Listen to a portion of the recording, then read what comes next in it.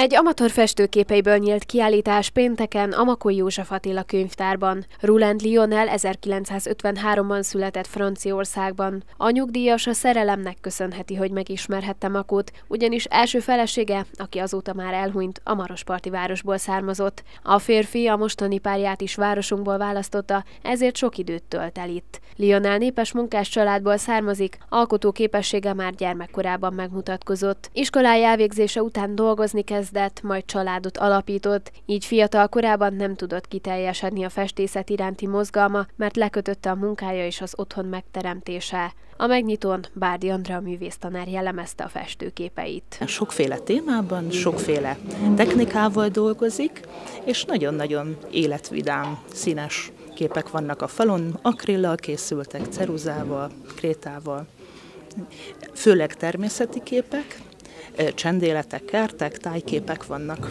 a falakon.